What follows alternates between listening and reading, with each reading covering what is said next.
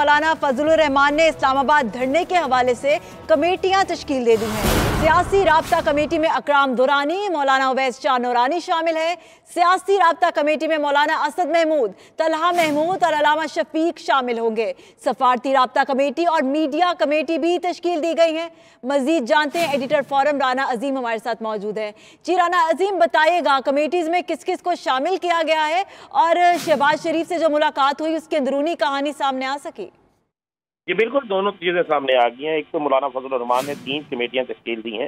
سیاسی رابطہ کمیٹی میں اکرم دورانی مولانا اویس شاہ نورانی مولانا اسد محفوظ، تلخہ محمود اور علامہ شفیق پسوری جبکہ سفارتی رابطہ کمیٹی میں جلال الدین خان، مولانا اویس نورانی کامران مرتضی، مولانا لطف الرحمان، خواجہ مدثر ہیں اور آسیہ ناصر شامل جبکہ دنہ کے والے سے تشکیل دی گئی جو کمیٹیاں ہیں، اس میں ایک میڈیا کمیٹی بنائی گئی ہے۔ اس میڈیا کمیٹی میں اسلم غوری مولانا امجد خان، مولانا صلاح الدین ایوبی اور شفیق احمد پسروڑی شامل ہیں۔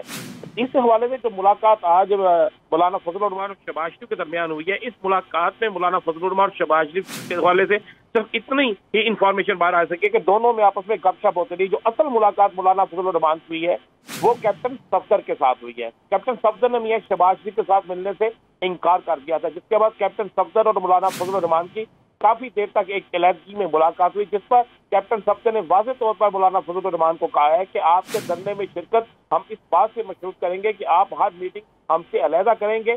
جس کے بعد یہ معاملہ طے باغے کہ مولانا فضل الرحمان اور کیپٹن سبزر جو ہے وہ علیحدہ علیحدہ بھی اپنی میٹنگیں کریں گے۔ اور ہم متاثرین کو یہ بھی بتاتے چلیں کہ اس میں سفارتی رابطہ کمیٹی جو بنائی گئی ہے مولانا فضل الرحمان کی طرف سے، اس رابطہ کمیٹی کی صبح دس بجے ایک غیر ملکی ایمبیسڈر کے ساتھ اور اس کے بعد دو بجے ایک غیر ملکی ایمبیسڈر کے ساتھ ملاقات ہے۔ اور ان ملاقاتوں میں یہ پاکستان کے تحفظ کو خراب کرنے کی کوشش کریں گے۔ جی۔ جی کمیٹیز کو ٹاسک بھی دے دیے گئے ہیں۔ بہت شکریہ رانا، عظیم، آپ ہمیں اپڈیٹ کریں۔